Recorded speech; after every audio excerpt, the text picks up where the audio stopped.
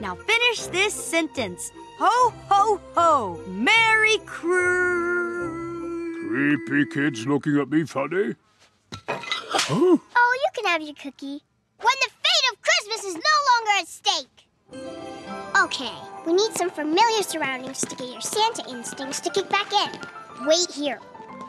Ho, ho, ho. hello, little. Okay, ask her what she wants for Christmas. What do you want?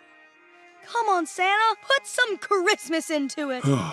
Ho, ho, ho. What do you want, little girl? I want four ponies. One for the bedroom, one downstairs, one for the bathroom, and a spare one no one else is allowed to use. And I want a princess tiara and a prince to marry me when I'm old enough so I never have to work like mom. Well, I don't think it's right to give kids whatever they want or they end up spoiled brats. Like this one.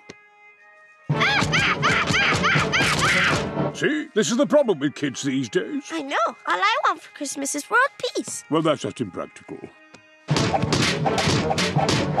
Can I go on your lap now? Nope. So, can I have my cookie now? No!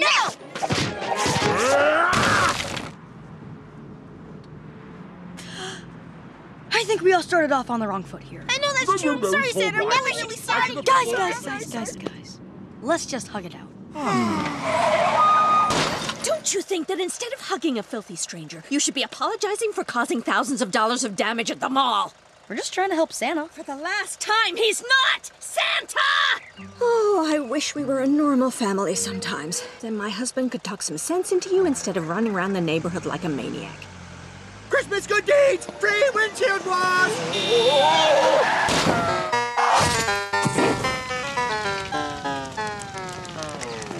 Christmas!